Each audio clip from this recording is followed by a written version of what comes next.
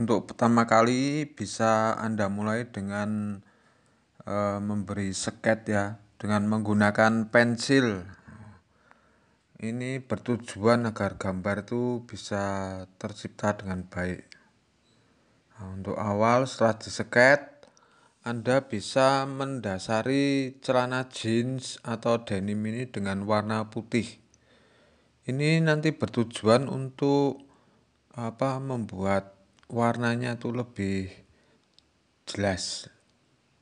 Kemudian lanjut dengan memberikan uh, warna ya. Saya hanya menggunakan warna primer hitam, warna primer kuning, merah, biru. Ditambah warna hitam dan putih. Warna hitam dan putih nanti untuk membentuk shadow ya shadow agar gambarnya itu terlihat uh, tidak kaku ya tidak kaku. Seperti ini warna hitam untuk membuat warna lebih gelap sedikit. Oke gambar ini mudah ya bisa untuk menghiasi tanpa disablon. Anda bisa ini awet di celana awet walaupun dicuci berapa kali tidak akan hilang.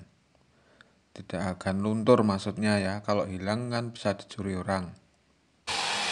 Nanti setelah selesai dianggap selesai bisa dikeringkan pakai dryer terus dijemur